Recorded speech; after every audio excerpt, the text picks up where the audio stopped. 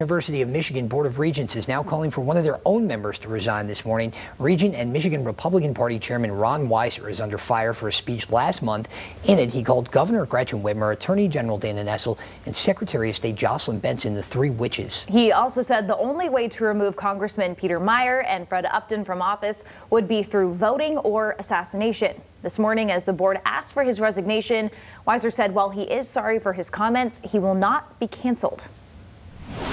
I take full responsibility for what I said, and I am sorry and regret my poorly chosen words that were offhand remarks made at a private Republican Party meeting. Michigan Republican Chair and U of M Regent Ron Weiser apologizing during a special board meeting via Zoom Friday morning, calling for his resignation. I agree with part of this resolution, but I will not resign. I pledge to be part of a respectful dialogue going forward and challenge my colleagues and others to do the same.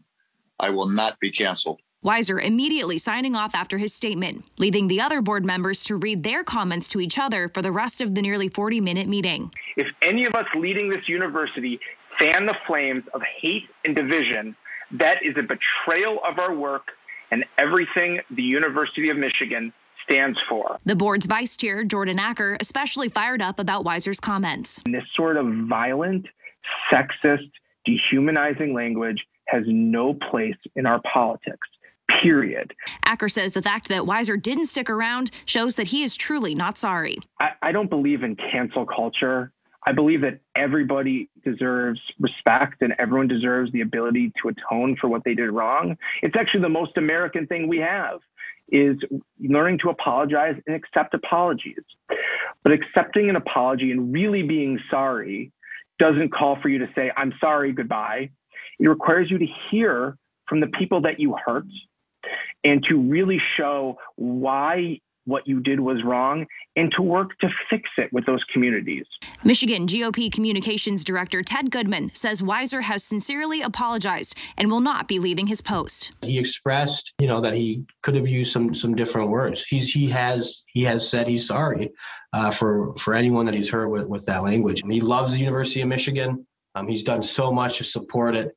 And it's just really unfortunate uh, to see other member, some members on the board uh, try and turn this into some, you know, sort of uh, personal political gain. As far as attacking Congressman Meijer and Upton, Goodman says those comments were taken out of context. He was making it very clear that in this country, in the United States of America, where we value democracy uh, and and each individual's voice, um, the way to make change is through a primary process. He was pointing out that in this country, the only way to change up leadership, if you're not happy with your elected officials, is to vote them out. And that was the point he was making. The board voting 501, encouraging resignation. But because they can't legally remove him from office, Weiser will have to step back on his own, if at all. Regent Weiser should go back and do some really hard thinking.